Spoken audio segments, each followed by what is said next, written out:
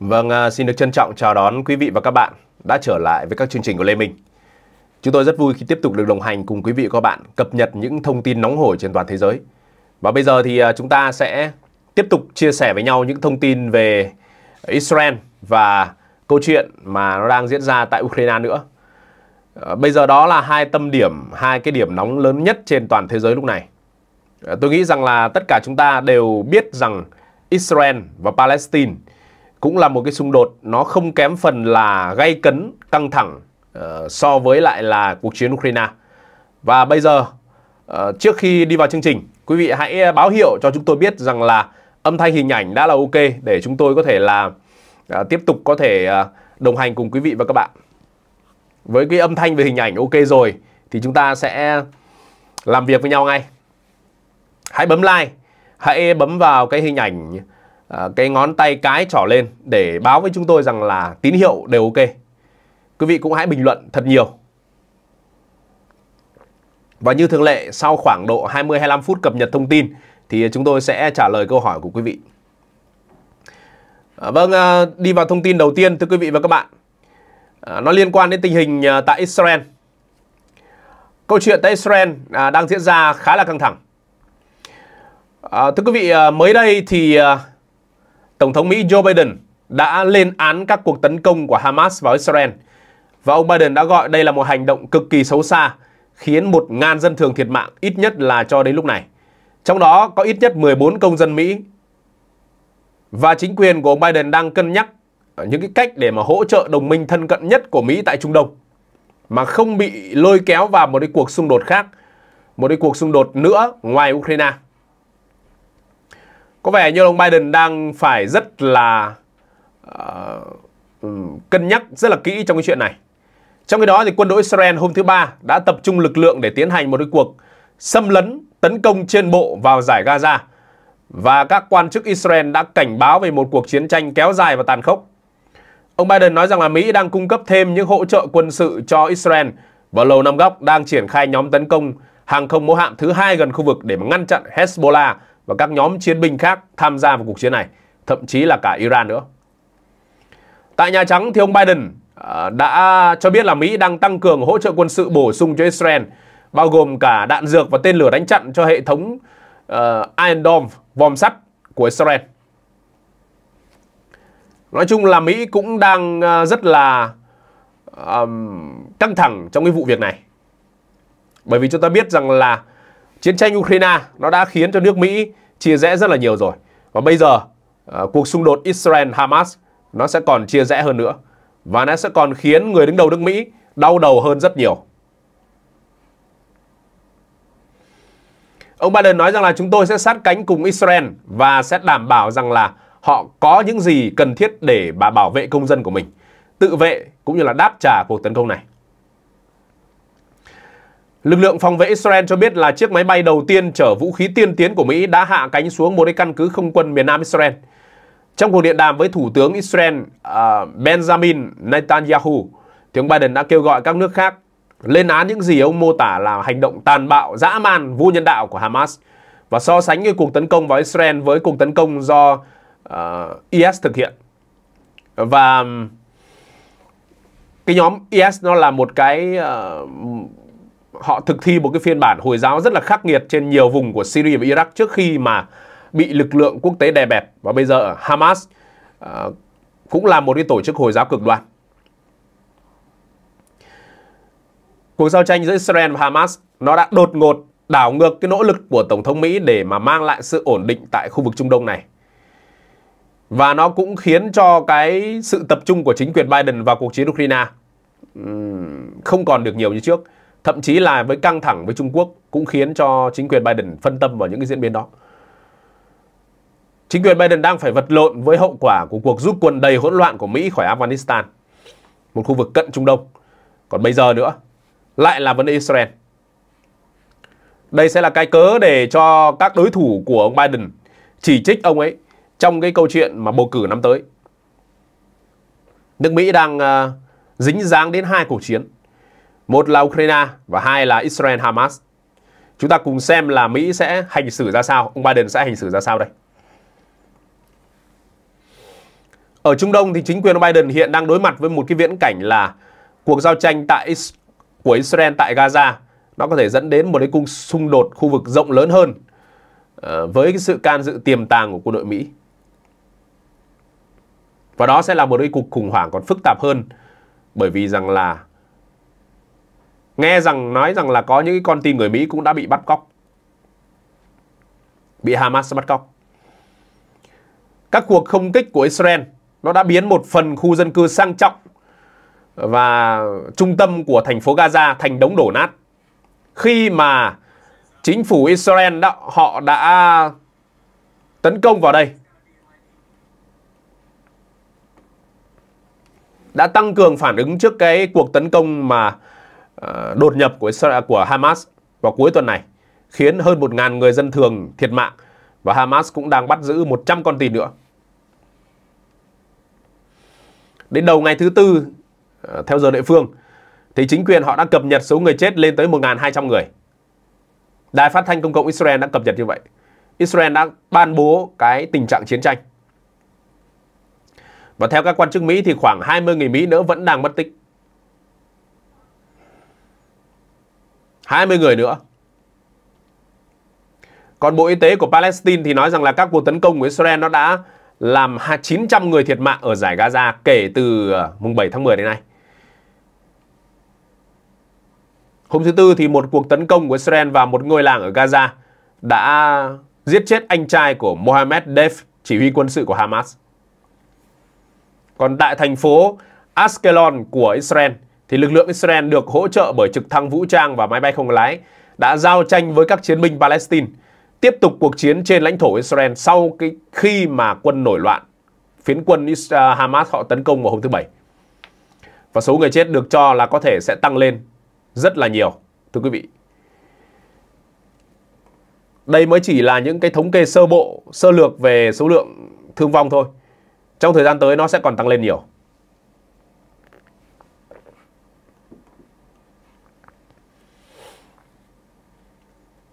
Cả hai bên đang chuẩn bị tiến tới một cuộc chiến tranh tổng lực và nguy cơ ngày càng tăng là xung đột ở giải Gaza nó sẽ lan sang một cái vùng nào khác và sẽ thành một cuộc chiến tranh khu vực lôi kéo phong trào Hezbollah của Liban và thậm chí là Iran. Sau khi mà lực lượng Israel đã đấu súng với các chiến binh Hezbollah của Liban trong ngày thứ ba vừa rồi.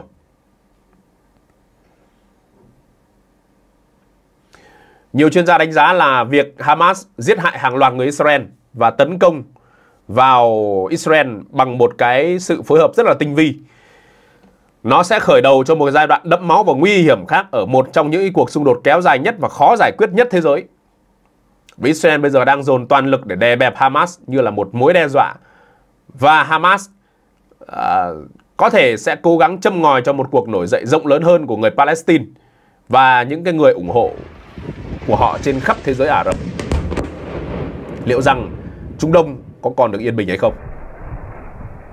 Tôi nghĩ rằng viễn cảnh Trung Đông uh, tiếp tục có một cái cuộc chiến tranh nữa là cái chuyện không xa.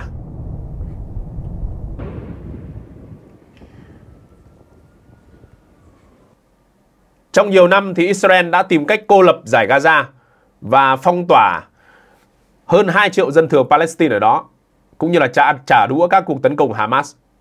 Nhưng mà không nhằm mục đích tiêu diệt cái nhóm này. Họ chỉ tấn công trả đũa thôi. Và Israel bây giờ đang phải quay cuồng sau một cái cuộc ờ, tấn công thảm khốc hôm thứ Bảy vừa rồi. Họ đang chuẩn bị cho một cuộc chiến có thể nguy hiểm nhất kể từ khi mà xâm lược Liban năm 1982. Khi mà Hamas chắc chắn là họ sẽ tìm cách ờ, là châm ngòi cho những cái cuộc nổi dậy lớn hơn của người Palestine và những người Ả Rập khác.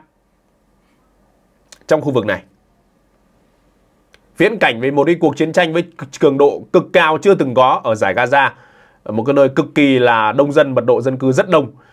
À, nó đang làm gia tăng lo ngại về sự tàn phá và thiệt hại nhân mạng hàng loạt với dân thường Palestine tại đây.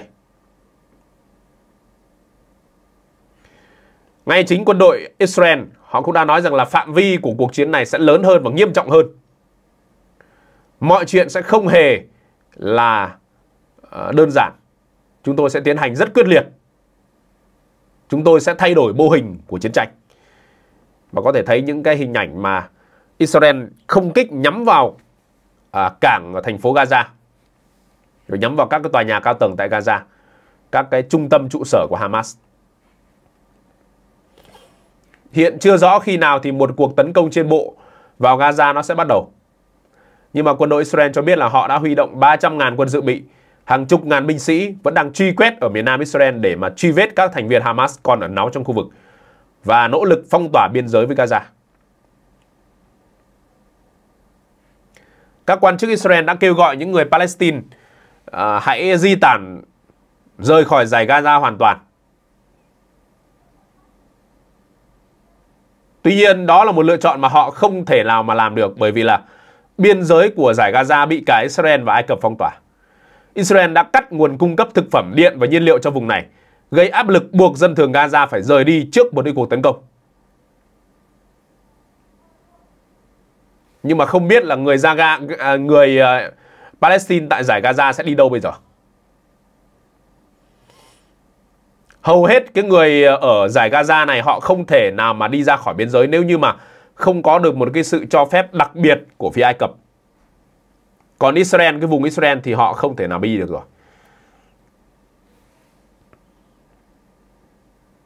Gần như là Ai Cập cũng sẽ không mở cửa để mà những người tị nạn này chạy vào. Chắc chắn là như vậy. Tuy vậy thì Israel cũng sẽ phải đối mặt với những thách thức quân sự lớn tại giải Gaza này. Các nhà phân tích quân sự cho biết là nỗ lực đánh bật Hamas hoặc là chiếm lại hoàn toàn cái vùng này có thể sẽ dẫn đến một cái cuộc chiến tiêu hao kéo dài. Hamas và các cái nhóm vũ trang Palestine khác, họ có hàng chục ngàn chiến binh, có mạng lưới đường hầm dưới lòng đất và hàng chục ngàn quả rocket và có lợi thế trong việc bảo vệ khu vực đô thị trước một cái cuộc tấn công của Israel. Nó sẽ lại giống như cuộc chiến của Nga và Ukraine đang tiêu hao như vậy. Không phải là quân đội mạnh hơn là sẽ dễ thắng hơn đâu. Tất nhiên tiềm lực quân đội Israel thì có hơn 600.000 binh sĩ đang tại ngũ và có thể huy động tới 3 triệu binh sĩ nếu tính cả lực lượng dự bị. Nhưng không dễ dàng để họ quét sạch Hamas. Không dễ dàng để mà quét sạch Hamas đâu thưa quý vị. Hamas đã rất quen với địa hình của giải Gaza. Và mặc dù giải Gaza chỉ có rộng 360 km vuông thôi, nhưng nếu binh sĩ Israel tiến vào thì chắc chắn là họ sẽ phải đối mặt với cái tổn thất lớn. Trong một cái cuộc chiến đô thị thì xe tăng cũng không giải quyết được gì nhiều. Nó phải là những người lính giành giật nhau từng tấc đất. Và đó là cái điều mà sẽ khiến các binh sĩ tinh nhuệ của Israel thiệt mạng nhiều. Mà quân đội Israel thì quy mô và dân số của nước này thì không nhiều. Đấy chỉ khoảng 9 triệu dân Israel thôi. Và chết một binh sĩ thì nó cũng bằng nước khác chết hàng trăm binh sĩ rồi. Bởi vì đào tạo ra một cái binh sĩ Israel nó rất là tốn kém và mất thời gian, thưa quý vị. Họ là những cái binh sĩ mà được ừ, coi như là tinh nhuệ nhất thế giới đấy. Liên tục thực chiến. Có lẽ độ tinh nhuệ chỉ ờ, xếp sau hoặc là ngang ngang ngửa với Hoa Kỳ chứ không phải đùa đâu. Cho nên nhiều người cũng bất ngờ là tại sao vừa rồi họ bị đột kích một cách đau đớn như vậy. Họ bị đột kích cực kỳ đau đớn. Tôi thì nghĩ đó là một cái thất bại của tình báo Israel. Họ đã quá chủ quan khi mà cho rằng là Hamas sẽ không làm gì được mình nữa. Bây giờ thì họ đang đặt ra mục tiêu mà chưa từng có, đó là tiêu diệt toàn bộ Hamas. Khi đã đặt ra mục tiêu đó như vậy rồi thì họ phải chấp nhận có một cái cuộc chiến tiêu hao dài ngày ở cái vùng Gaza này. Và ta sẽ thấy sẽ là có một cái cuộc chiến dài ngày đấy, thưa quý vị. Bây giờ thì Israel vẫn đang nói rằng là sẽ cho thời gian cho dân thường đi ra khỏi vùng này. Nhưng mà đi đâu bây giờ? Một mặt của Gaza là biển, một mặt khác là giáp với Ai Cập và một mặt khác nữa là giáp với Israel. Người giải Gaza biết đi đâu bây giờ? Rất khó thưa quý vị. Cho nên người ta đang lo ngại là sẽ có những cái cuộc thảm sát lớn trong cái giải Gaza này. Súng đạn thì không có mắt mà. Bom đạn không có mắt và nó sẽ khiến thường dân chịu nạn nhiều nhất. Từ năm 2005 thì Israel đã rút khỏi giải Gaza rồi. Và bây giờ nó đã qua 18 năm rồi. Địa hình ở giải Gaza này thì họ không thể thông thuộc được nữa rồi. Và việc tái chiếm toàn bộ giải Gaza nó là cực kỳ khó khăn cho quân đội Israel. Đặc biệt là việc Hamas tập trung lực lượng vũ khí như vậy, ngay sát biên giới mà Israel không hề biết, thì bây giờ họ vào giải Gaza cũng không khác gì những người mù sờ đường mà đi thôi. Hôm thứ ba vừa rồi thì Hamas cũng có động thái kêu gọi tổng huy động trên toàn khu vực để hỗ trợ người Palestine. Đặc biệt là kêu gọi thanh niên ở bờ Tây, cái khu vực mà bờ Tây sông Jordan đó, bị chiếm đóng, bị quân đội Israel đang chiếm đóng đối đầu với binh lính Israel để mở ra cơ hội cho các cái cuộc biểu tình và xung đột có thể xảy ra trong tương lai. Và các chiến binh Palestine họ cũng đã phóng thêm nhiều tên lửa vào miền Nam Israel vào hôm thứ ba, khiến cho hai công nhân nước ngoài ở vùng Escon thiệt mạng. Bây giờ các cái vụ phóng tên lửa đó thì nó đã không quá nhiều rồi. Nhưng nó vẫn còn đe dọa, thưa quý vị.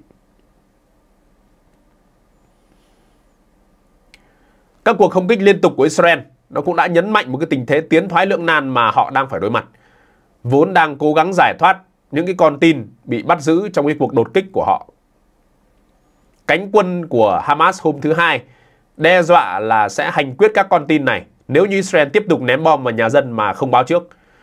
Các cuộc tấn công mạnh mẽ của Israel vào cái giải Gaza cũng có nguy cơ vô tình làm thiệt mạng các con tin đang bị giam giữ ở những cái địa điểm mà không xác định. Và đây là một vấn đề cực kỳ nhạy cảm.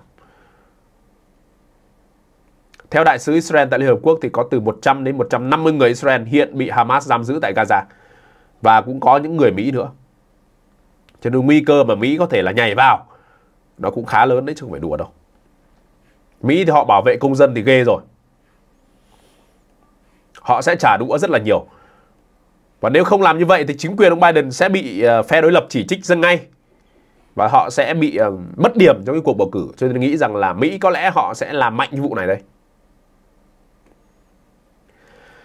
Kể từ năm 2008 thì Israel đã tiến hành 4 cuộc tấn công quân sự riêng biệt ở giải Gaza và mỗi cuộc tấn công như vậy thì đều kết thúc với cái việc là bất phân thắng bại và Hamas thì vẫn nắm quyền kiểm soát khu vực này. Cho nên bây giờ một cái cuộc tấn công để mà tiêu diệt được Hamas là chuyện không dễ dàng. Các quan chức Israel thì vẫn cho biết là lần này mục tiêu của họ sẽ là giáng đòn quyết định vào Hamas. Nhưng theo đánh giá cá nhân của tôi thì lần này cũng sẽ thế thôi. Khó có thể quét sạch được Hamas. Nó như là cỏ dại vậy. Cứ mưa là nó lại mọc lên. Trong một tuyên bố ờ, liên quan, thì Bộ Tư lệnh Trung tâm của Mỹ cho biết là tàu sân bay uh, Gerald Ford đã đến khu vực này vào hôm thứ Ba, cùng với các tàu khu trục mang tên lửa dẫn đường đi kèm như là một động thái thị uy. Tàu Dry Eisenhower và các tàu hộ tống của nó đã được lên lịch khởi hành từ nhiều tháng trước trong tuần này tới khu vực. Và các quan chức quốc phòng cho biết là họ dự kiến sẽ tới khu vực này trong khoảng 2 tuần. Uh, cũng có nghĩa rằng là họ tin rằng sau 2 tuần thì chiến sự nó sẽ lắng dịu dần. Mỹ thì nói rằng là chưa rõ là hai nhóm tàu này sẽ cùng ở lại hay là họ sẽ chỉ để một nhóm ở lại thôi. Israel sẽ phải đối mặt với rất nhiều các cái mặt trận. Thưa quý vị, ở khu vực uh, bờ Tây họ cũng sẽ phải đối mặt với những cái um, cái cái uh, đối thủ rất là lớn của mình. Bờ Tây thì nó là cái khu vực của người Palestine, chính phủ Palestine. Đó. Họ còn có cao nguyên Golan giáp với Syria. Hiện tại thì họ có ba mặt trận theo các bản đồ phân tích. Đầu tiên là họ đang theo dõi chặt chẽ các cái biên giới ở phía Bắc khi mà họ sẽ phải đối mặt với các cái chiến binh Hezbollah từ Liban. Thứ hai là ở bờ Tây. Israel đã đóng cửa các con đường chính và các điểm vào bao gồm cả cái nước ờ, láng giềng Jordan nữa. Thành phố Jerusalem này cũng là một nơi cực kỳ quan trọng. Cuối cùng là một mặt trận nữa là ở Gaza. Và bây giờ thì Israel chỉ đang mới không kích thôi và chưa có đưa quân vào đây.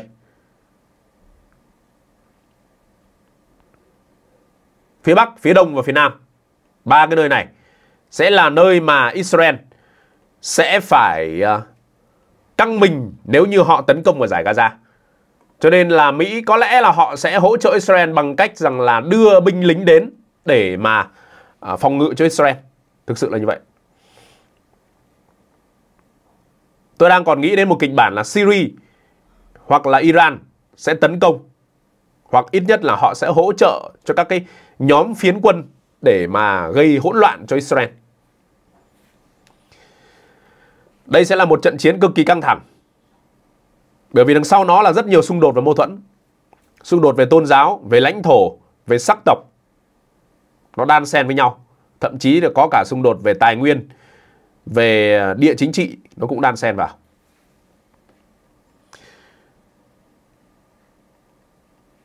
Các quốc gia Trung Đông họ đang cố gắng xoa dịu tình hình. Cả Ai Cập cũng đang à, muốn là một cái nước trung gian xoa dịu tình hình. Nhưng mà vẫn chưa có kết quả gì hết. Chúng ta sẽ chờ thêm những cái diễn biến thôi. Và nhân đây thì chúng tôi cũng xin được à, chia sẻ và giới thiệu quý vị, đó là chúng tôi có một cái kênh à, mới à, khai thác đó là kênh tri thức mới. Có lẽ là tôi đã từng giới thiệu quý vị một vài lần rồi. Và quý vị xin hãy đăng ký kênh và đón xem những clip của chúng tôi làm trên kênh tri thức mới này. Kênh này chúng tôi sẽ cố gắng Ờ, chia sẻ với quý vị những cái tri thức ờ, về à, văn hóa, lịch sử, địa lý, địa chính trị trên thế giới ờ, gần đây chúng tôi có làm một vài clip về Israel và Hamas. Quý vị có thể là đăng ký kênh này và cập nhật những cái video rất là hấp dẫn. Những video này thì chúng tôi làm theo một cái phong cách mới khác với các kênh tin tức của chúng tôi. Và tôi xin được hầu chuyện quý vị bằng các video này Ờ, bằng chính giọng đọc và ờ, các cái ờ, kịch bản do chúng tôi sản xuất. Thì mong rằng là quý vị và các bạn sẽ tiếp tục ủng hộ chúng tôi. Hãy đăng ký kênh tri thức mới. À, quý vị mỗi người xin hãy cho chúng tôi một cái subscribe trong cái kênh tri thức mới này. Rồi chúng tôi lát nữa chúng tôi sẽ để lại uh, cái đường link vào cái kênh này cho quý vị uh, có thể là dễ dàng là theo dõi hơn.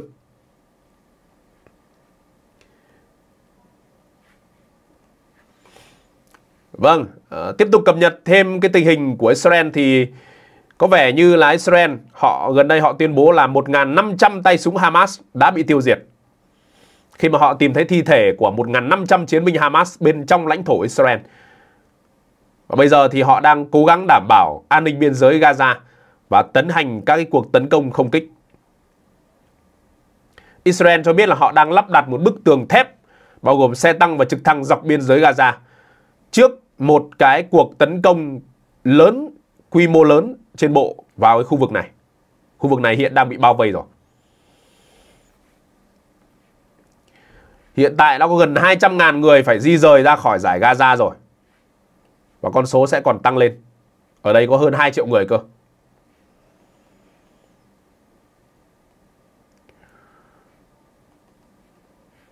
Đường duy nhất để mà các cư dân ở Gaza có thể đi đó là cửa khẩu biên giới với Ai Cập. Nhưng vấn đề là Ai Cập lại không mở cửa đó và chỉ cho ít nhất rất ít người đi qua mỗi ngày thôi.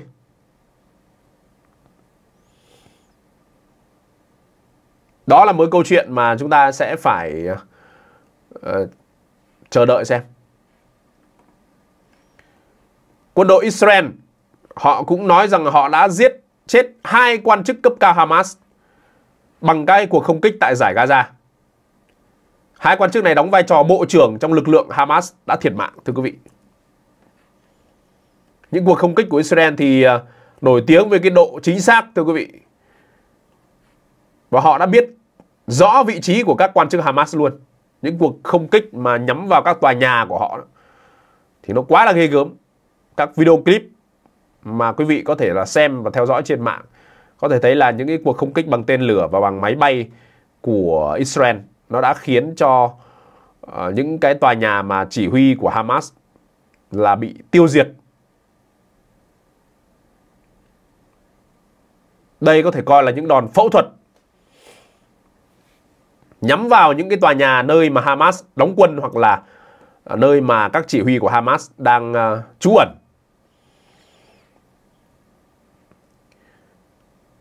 Lực lượng phòng vệ Israel IDF ngày 10 tháng 10 họ nói rằng một máy bay của họ đã tiêu diệt Jawad Abu Shamala, Bộ trưởng Kinh tế của Hamas.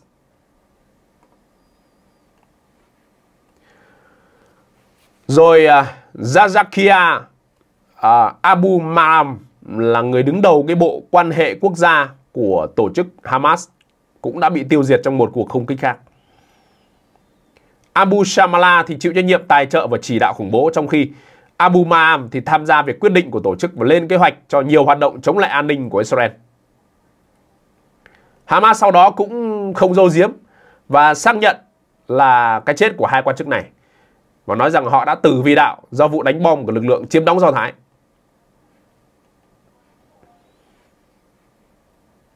Giao tranh giữa hai bên nó đã khiến gần 2.000 người thiệt mạng rồi, hơn 1.900 người thiệt mạng rồi. Và bây giờ con số người bị thương thì hơn 7.000 người. Cho đến ngày 10 tháng 10 bây giờ nó sẽ tiếp tục tăng cao rồi. Chiến đấu cơ Israel thì đã tấn công 250 mục tiêu tại khu vực Al-Fukan của thành phố Gaza. Và khu vực này chính là nơi mà Israel nói rằng đó là ổ khủng bố. Và Israel nói rằng là các cuộc không kích sẽ được tiếp tục bằng toàn bộ sức mạnh của mình.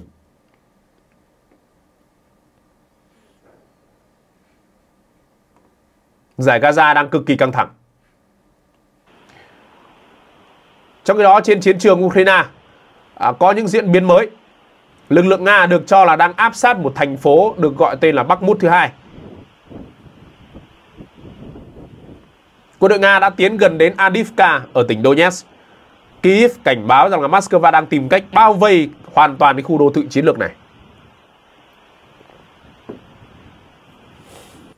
Lãnh đạo chính quyền thành phố Adivka, Vitali Barabas, nói rằng Adivka đang phải đối mặt với nguy cơ bị chiếm đóng suốt hơn một năm qua. Và tình hình hiện nay tồi tệ hơn rất nhiều. Nga đang dùng mọi cách để mà bao vây khu vực này. Cố vấn của ông Zelensky là Andriy Yermak sau đó nói rằng là Adivka đang bị không quân và pháo binh Nga tấn công dữ dội. Bộ Quốc phòng à, Ukraine thông báo rằng là Nga đang triển khai một lượng lớn xe tăng thiết giáp để đẩy mạnh hoạt động tấn công Adivka. Lực lượng phòng thủ của Ukraine nói rằng họ đã đẩy lùi mọi cuộc tấn công và ngăn ngừa cái tình trạng là mất kiểm soát. Adivka là một đô thị mà có lẽ cũng cực kỳ quan trọng với Ukraine và nó đã bị vây bọc suốt nhiều ngày qua rồi.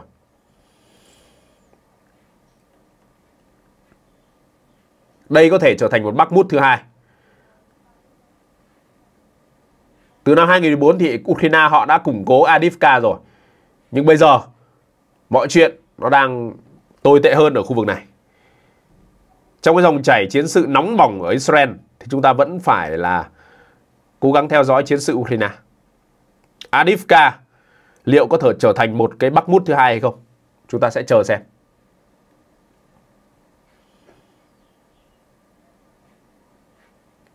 Những cuộc pháo kích của Nga là rất ghê gớm tại đây. Vâng thưa quý vị, à, bây giờ thì à, đến cái à, phần mà trả lời bình luận.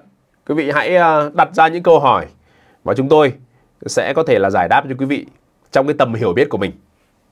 Mong rằng à, những cái câu hỏi và những bình luận của quý vị có thể là giúp ích cho cái việc là chúng ta tìm hiểu và bình luận các thông tin. Xin mời quý vị hãy đặt câu hỏi.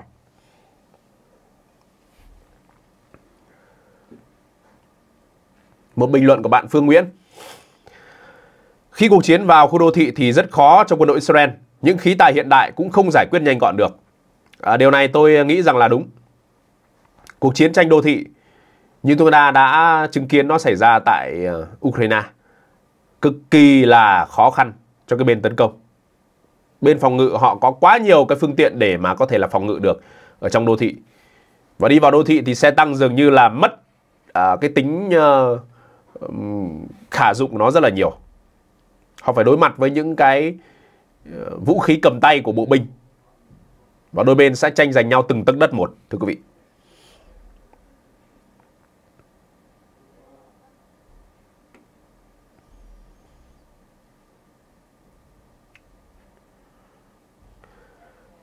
À, vâng, à, một comment khác của bạn Thua Chen là Bộ trưởng uh, Quốc phòng Hàn Quốc vừa thông báo có thể Triều Tiên sẽ tấn công bất ngờ như Hamas. Lê Minh nghĩ sao?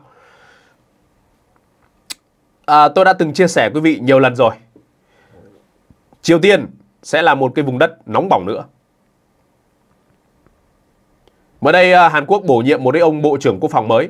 Ông này cũng có một cái quan điểm cực kỳ cứng rắn, giống như là Tổng thống Hàn Quốc vậy. Trong thời gian tới chúng ta sẽ thấy là căng thẳng trên bán đảo Triều Tiên nó sẽ gia tăng hơn nữa. Người ta nói rằng là Triều Tiên đang còn chuẩn bị thử hạt nhân cơ.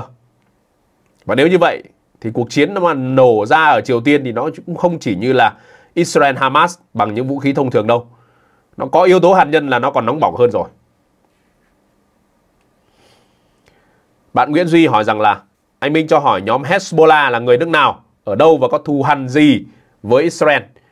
Vâng, câu hỏi à, rất là hay và nếu như mà muốn trả lời câu hỏi của bạn thì cũng khá là mất nhiều cái uh, thời gian đấy. Tôi chỉ trả lời ngắn gọn thôi. Hezbollah à, nó là cái tổ chức chính trị vũ trang của người Liban theo đạo hồi, cái dòng Shia à, và nó thành lập vào năm 1982. Và nó thù hằn gì với Israel thì nó là một cái tổ chức để mà uh, lập ra để phản ứng trước sự kiện Israel xâm lược Liban để mà đẩy tổ chức giải phóng Palestine PLO của cố Tổng thống Yasser Arafat ra khỏi Liban. Và, và Hezbollah từ bao nhiêu năm qua họ đã uh, xung đột với lại Israel rất là nhiều. Và họ được xem như là kẻ thù không đội trời chung của Israel. Họ nhận được sự hỗ trợ tài chính của Iran. Đó, ngắn gọn như vậy.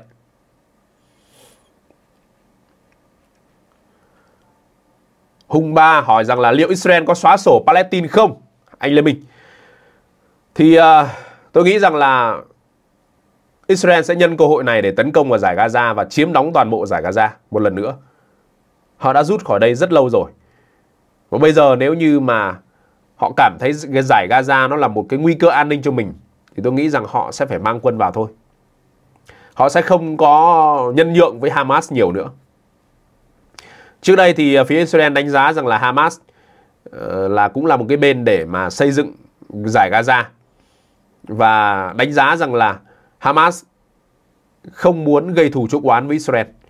Nhưng bây giờ sau cái cuộc tấn công này thì có lẽ Israel sẽ phải thay đổi toàn bộ quan niệm của mình. Và họ sẽ truy quét đến cùng đấy. Hoài Vững Chào anh, sao Israel không chiếm giải Gaza luôn anh? để tồn tại nhóm phiến quân ở ẩn trong đó gây bất ổn vậy anh nhỉ? Như tôi đã nói rồi, Israel từ năm 2008 đến giờ là đã tấn công giải Gaza với 4 lần rồi. Đánh nhau với Hamas nhưng mà bất phân thắng bại. Bởi vì không phải dễ dàng để chiếm cái giải Gaza đâu. Ở đây có hơn 2 triệu người Palestine đang ở đây. Vào cái việc quản lý hơn 2 triệu người Palestine nó cũng không hề đơn giản. Trong khi đó dân số Israel nó chỉ có chừng 9 triệu người thôi. Nếu như đưa quân đó vào chiếm đóng, đưa quân vào chiếm đóng giải Gaza thì nó sẽ phải phát sinh rất rất nhiều câu chuyện. Thứ nhất là phải đảm bảo an ninh khu vực. Thứ hai là phải đảm bảo cái việc là đưa quân đồn trú ra nước ngoài như thế nào. Nhiều chuyện lắm không vị. Không phải cứ nó chiếm là chiếm được. Giống như Nga bây giờ chẳng hạn. Nếu như họ sáp nhập các cái vùng của Ukraine, thì bây giờ là khó cho họ, bởi vì rằng là bốn cái vùng mà họ sáp nhập, thậm chí là họ còn đang phải rất là khó khăn ở đó tình hình an ninh trị an cực kỳ khó khăn cái vấn đề trị an là cái vấn đề mà khiến cho Israel rất là đau đầu. Và tổ chức Hamas này thì bình thường là họ là những dân quân mà. Cho nên bình thường cảm giác như họ là những người thợ thủ công những người ờ, thợ cắt tóc bình thường ở trên đường phố. Đấy, nhưng mà đến lúc họ chỉ cần rút rocket ra là họ phóng lại phóng sang lãnh thổ Israel. Dân quân Hamas hay là ờ, phiến quân Hamas nó là những cái tên gọi khác nhau. Nhưng đại ý rằng là đây là những cái người Palestine mà theo chủ nghĩa Hồi giáo cực đoan. Và bất kỳ người nào thì cũng có thể là Hamas. Họ còn tuyển dụng rất là rầm rộ nữa. Chừng độ bây giờ có khoảng 50.000 tay súng Hamas. Uh, năm 2021 thì tôi biết được là ngân sách quốc phòng quân sự của họ là 100 triệu đô mỗi năm. Rất là ít ít thôi. Và vũ khí chủ yếu của họ là những quả rocket. Nhưng bây giờ sau cái vụ tấn công Israel này thì có vẻ như là họ đã được Iran hỗ trợ rất là nhiều với những cái rocket phóng loạt. Hàng ngàn quả rocket phóng đi chỉ trong vòng 20 phút thôi. Và nó gây quá tải cho hệ thống vòng sắt của Israel. Nó không phải là rocket cầm tay như ngày xưa nữa, mà rocket phóng loạt ở trên những cái xe bán tải. Và điều đó đã khiến cho Israel bất ngờ hoàn toàn.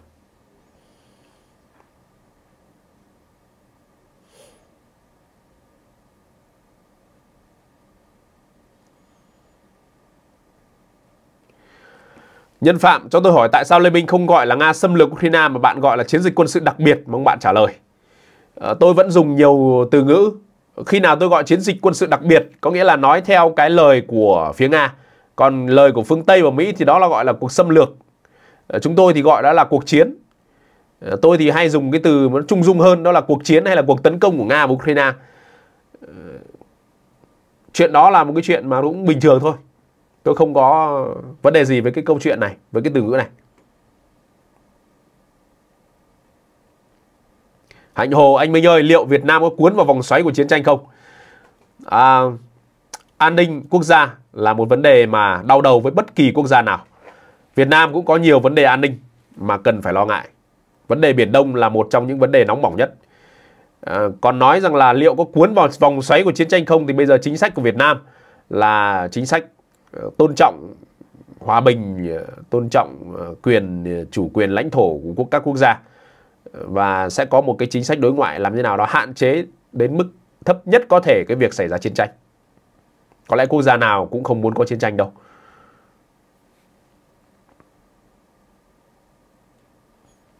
Định Nguyễn theo anh, chiến tranh giải Gaza có làm Mỹ ủng hộ Ukraine yếu đi không? Chắc chắn là sẽ ảnh hưởng đến việc là Mỹ viện trợ cho Ukraine. Bởi vì Mỹ trong cái sự so sánh của Mỹ thì tôi nghĩ rằng là Israel mới là cái quốc gia mà quan trọng hơn Ukraine. Đó. Mỹ không hề muốn là mất một cái đồng minh quan trọng như Israel tại Trung Đông. Và nếu như Israel và Iran đánh nhau thì Mỹ có thể là còn nhảy vào cơ. Chứ không phải như Ukraine đâu. Nó cũng có nhiều lý do. Mỹ muốn né tránh việc nhảy vào Ukraine bởi vì là Nga cũng là một nước mà sở hữu vũ khí hạt nhân. Thậm chí cái kho của họ còn lớn hơn của Mỹ. Mỹ cũng không muốn là bị cuốn vào một cuộc chiến hạt nhân. Còn Iran thì bây giờ mới chỉ đang làm giàu uranium thôi. Cho nên Mỹ có thể là sẽ nhảy vào giúp Israel.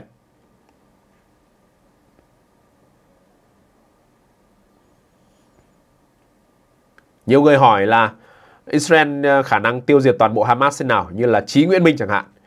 Thì ờ, tôi vẫn đánh giá là có thể là họ có thể tiêu diệt được Hamas. Nhưng còn toàn bộ hay không hay là lúc nào chiến thắng thì tôi không dám trước. Không dám nói trước. Cuộc chiến ở giải Gaza không phải bây giờ nó mới bắt đầu. Hàng chục năm trước nó đã diễn ra rồi. Và lần nào nó cũng mang màu sắc của một cuộc chiến tiêu hao. Đấy rồi quý vị xem. Nó lại chẳng đi về đâu đâu. Tôi nói rồi nó như cỏ dại vậy. Cứ cắt rồi lại mọc thôi. Trương Nguyễn anh có nghĩ rằng Israel sẽ có biện pháp trả đũa Iran không? Có thể là đánh bom một số địa điểm. Trước đây Israel cũng đã từng dọa như vậy rồi. Dọa rằng là sẽ tấn công các cái cơ sở hạt nhân của Iran nếu như mà nước này phát triển chương trình vũ khí hạt nhân. À, tôi cho rằng đó là một khả năng có thể. Và gần đây, à, trước những cái tin tức là Iran chính là cái bên mà hỗ trợ và đứng đằng sau để thúc đẩy cái cuộc tấn công của Hamas vào biên giới Israel, thì uh, Tel Aviv họ đã nói rằng là họ sẽ tấn công nhắm vào Iran nếu như phát hiện rằng Iran đứng sau cuộc chiến này. Tôi nghĩ Israel nói là làm đấy.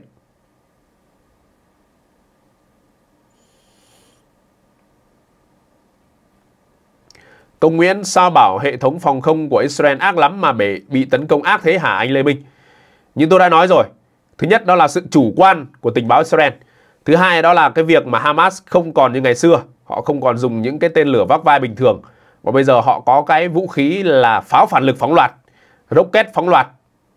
Tuy nhiên nó không, tất nhiên là nó không có quá hiện đại, nhưng nó đã gây bất ngờ và quá tải cho hệ thống vòm sắt. Israel chỉ có chừng 15 hệ thống vòm sắt như vậy thôi. Và mỗi quả đạn Tamir bắn ra ấy, có giá vài trăm ngàn đô. Khó có thể là uh, mang ra để mà chống lại những cái quả đạn rẻ tiền của phía Hamas được. Thắm trần. À, áp lực của dân chúng Israel đòi ông Netanyahu à, từ chức. Liệu chính trị nước này có bị đảo, đảo lộn không? Thủ tướng Israel thì họ từ chức liên tục ấy mà. À, một người này không làm tốt thì người khác lên thôi. Tôi không nghĩ là chính trị sẽ bị đảo lộn đâu. Nhưng trong lúc này thì có vẻ như là ông Netanyahu sẽ không từ chức và ông sẽ chiến với Hamas đến cùng. Tuyển Lê nếu ông Biden tái đắc cử thì có xảy ra chiến tranh thế giới thứ ba không? Vâng, um, nói là xảy ra chiến tranh thế giới thứ ba không thì cũng khó khẳng định. Nhưng những cuộc xung đột nhỏ và khu vực như kiểu là Israel, Palestine hay là Nga, Ukraine nó sẽ diễn ra nhiều hơn. Bởi vì thế giới sẽ bước vào một cái thời kỳ hỗn loạn hơn. Hương Trần Xuân, thế giới loạn chiến, Trung Quốc có hưởng lợi gì không chú Lê Minh? Chắc chắn là sẽ hưởng lợi. Bởi vì rằng là lẽ ra là họ sẽ bị quốc tế nhắm vào, bị NATO và bị Mỹ nhắm vào. Nhưng bây giờ thì Mỹ và các nước châu Âu họ đang nhìn vào Israel và nhìn vào Ukraine nhiều hơn. Trung Quốc sẽ có cơ hội để mà nằm im chờ thời. Nhưng mà họ cái lực của họ cũng không còn nhiều như ngày xưa. Bây giờ kinh tế của họ đang đi xuống và cái cách cầm quyền nó có nhiều vấn đề của Chủ tịch Trung Quốc Tập Cận Bình nó đang khiến cho nền chính trị Trung Quốc cũng đầy rối ren. Cho nên bây giờ có lẽ là họ đang phải hướng vào bên trong để mà uh, sửa chữa uh, những cái cái điều đó bên trong nội bộ của mình. Chứ có lẽ họ cũng chưa có đủ lực để mà hoặc đánh chiếm Đài Loan hoặc là bành trướng nhiều hơn nữa trên Biển Đông đâu.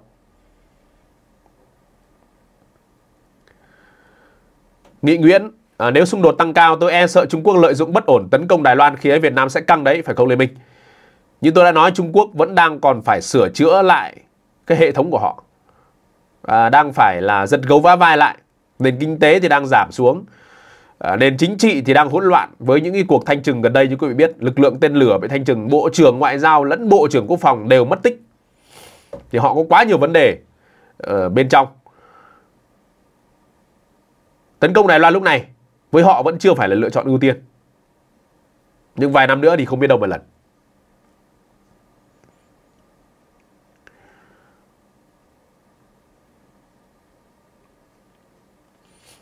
Thiết Đặng, theo mình thì khả năng các phiến quân cực đoan thù địch của Israel sẽ nhân cơ hội này để tấn công từ ba hướng đúng không mình?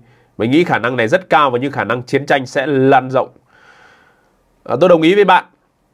À, các phiến quân như là Hezbollah hay là Hamas, họ vẫn có liên hệ với nhau và còn nhiều phiến quân nữa chúng ta còn chưa biết do Iran hỗ trợ. Bây giờ Iran cũng đang theo dõi chặt chẽ tình hình này và có thể là họ sẽ hỗ trợ cho các cái cái cái cái phiến quân đó tấn công hoặc là gây đảo loạn khu vực biên giới của Israel.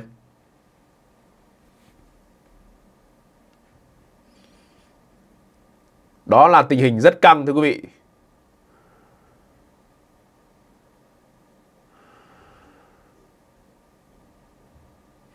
Đức Thành, công dân Việt Nam ở hai nước này có sao không anh? Hiện tại chưa có cập nhật nào về việc là công dân Việt Nam tại Israel hay Palestine có vấn đề gì không? À, nhưng có lẽ là chúng tôi cũng mong rằng là các công dân Việt Nam ở cái vùng chiến sự à, xin hãy bảo trọng.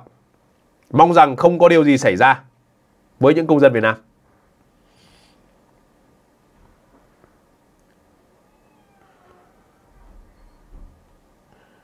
Tuấn Nguyễn Thanh cho hỏi Iran cách xa về địa lý với Israel thì cung cấp vũ khí và tham gia chiến đấu kiểu gì? Họ đi bằng đường biển. Và bây giờ quý vị cũng đừng nghĩ rằng là cứ phải gần nhau mới đánh nhau được. Đó, người ta đánh nhau bằng tên lửa, bằng máy bay không người lái, bằng nhiều thứ khác, bằng không quân. Và thực ra mà nói thì Iran và Israel cách nhau cũng không xa lắm đâu. Cả hai đều là ở vùng Trung Đông mà. Khoảng cách của họ là không xa. À, Israel này sau đó là đến Jordan này. Jordan giáp Iraq này và Iraq thì giáp Iran này. Có nghĩa là chỉ cách hai nước thôi đó là Jordan và Iraq. Israel uh, không quá cách xa Iran đâu thưa quý vị. Nói thì thế thôi. Nhưng về cái chiều sâu chiến lược thì Iran có còn Israel thì không. Cho nên Israel cũng dễ là bị uh, tấn công kiểu như Hamas vừa rồi đó tấn công dồn dập như vậy thì dễ mà toang lắm thưa quý vị không hề đơn giản đâu. Khanh Nguyễn Palestine Hamas và Palestine khu bờ Tây à, có mối liên hệ với nhau không anh Lê Minh? À, Palestine người Palestine tại uh, Gaza thì vừa nằm dưới quyền kiểm soát của Hamas còn ở khu bờ Tây là nằm dưới cái uh, bây giờ khu bờ Tây nó đang phức tạp ở cái điểm này này là quân đội Israel đang là chiếm đóng ở đó.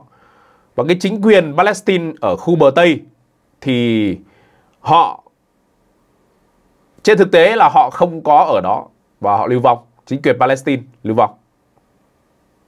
Đó. Và họ vẫn nói rằng là Israel đang chiếm đóng khu bờ Tây. Về mối liên hệ của hai cái cái cái cái cái khu vực này thì chính quyền Palestine và Hamas thì cũng ghét nhau chứ không phải là yêu quý nhau gì.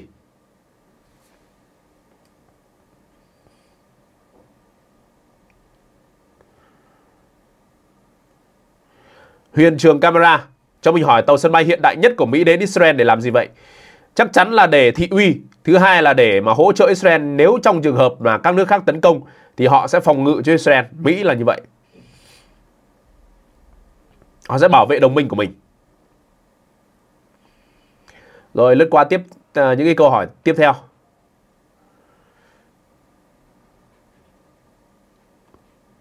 Chúng tôi sẽ à, trả lời à, một vài câu hỏi nữa.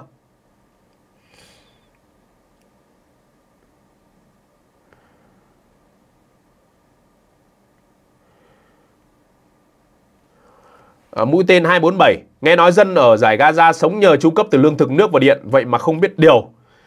À, Giải Gaza này thì à, Vấn đề ở đây đó là Họ bị cô lập với bên ngoài. Và Israel kiểm soát toàn bộ biên giới tại giải Gaza. Đi ra đi vào là đều kiểm soát hết rồi thậm chí Israel cũng đã cho 18.000 người Palestine ở giải Gaza đến nước mình để mà làm việc với mức lương cao gấp 10 lần. Cũng là Israel họ cũng muốn là cho cái người dân Gaza này họ có một cuộc sống tốt hơn đấy. đấy nhưng mà Hamas thì lại đang cầm quyền ở đó. Bây giờ thì Israel họ sẽ coi Gaza là kẻ thù, chắc chắn là như vậy.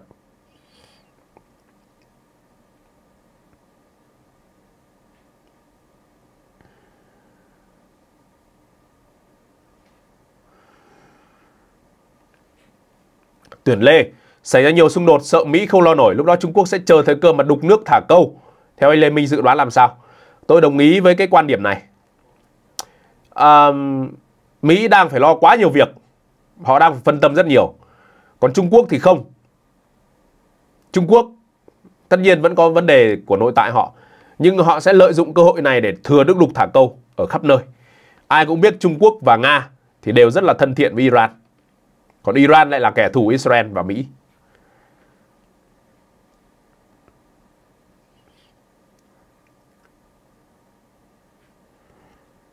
Lộc Lê mỗi ngày Lê Minh phát sóng mấy lần vào giờ nào?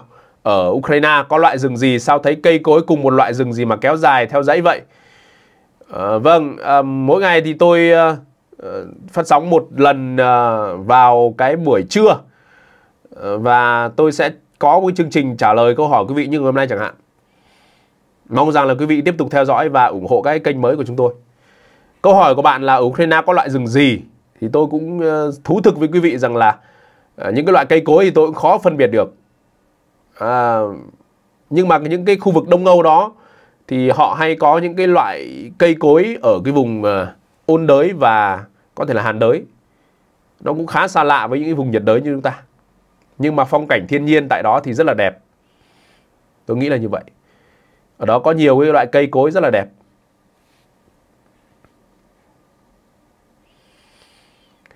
Nguyễn Bình Nguyên, theo anh, ai đã đứng sau Hamas? Có nhiều người nói rằng là Iran, có người thì nói là Trung Quốc, có người lại nói là Nga. Còn theo tôi thì chắc chắn là Iran đứng sau rồi. Còn có bàn tay của Trung Quốc hay không thì à, chúng tôi sẽ tìm hiểu thêm và sẽ có thêm một chương trình phân tích cùng quý vị. Rồi, chúng ta đã lướt qua được khá là nhiều câu hỏi và cũng khá là muộn rồi. Vậy thì à, xin à, kính chào quý vị và các bạn. Hẹn gặp lại trong các chương trình giao lưu tiếp theo. Còn bây giờ thì à, quý vị đừng quên bấm like, ấn đăng ký kênh để mà giúp chúng tôi tiếp tục lan tỏa thông điệp. Cảm ơn sự quan tâm theo dõi. Xin chào và hẹn gặp lại.